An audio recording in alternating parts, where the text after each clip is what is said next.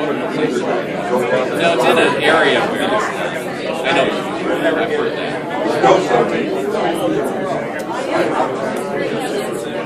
I've heard that.